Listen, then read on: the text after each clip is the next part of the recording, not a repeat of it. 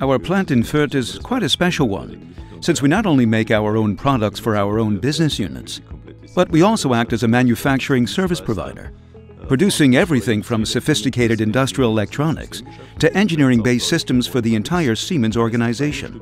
The nature of our business is low-volume, high-mix.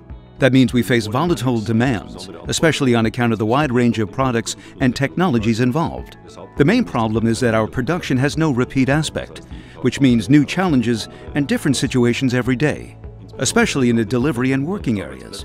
We have about 2,500 boxes at our production facility, with new content coming in every day. That means a lot of time in our production is spent on searching, and therefore many activities are not effective. Here in Fürth, we need a system that will tell us the current location of our approximately 2,000 material boxes flexibly and in real time. The SIMATIC RTLS real-time locating system from Siemens is very well suited to this task.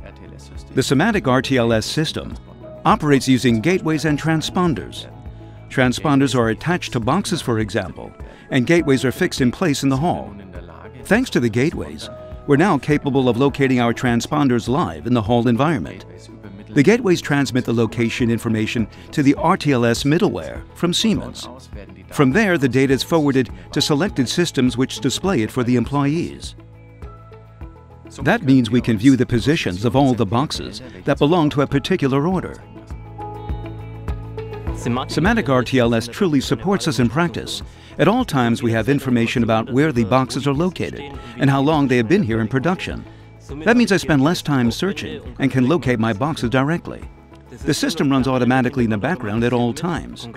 What that specifically means is that we can respond more quickly to product changes. The obvious result is that throughput times are improved, and I can focus more on my actual tasks. Because we're still only at the beginning with SIMATIC RTLS, it's great that we have a chance to contribute here and help take the system further. We provide input about other areas where we could utilize the system and which other functions which would be useful for our day-to-day -day work. The SIMATIC RTLS infrastructure can be utilized for many different use cases. For example, we want to synchronize control over our various AGV systems.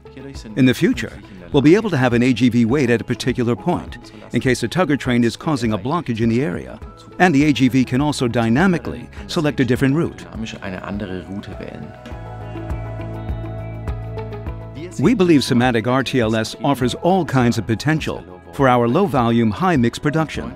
And we're looking forward to making our production unit more transparent, more flexible and more efficient step by step.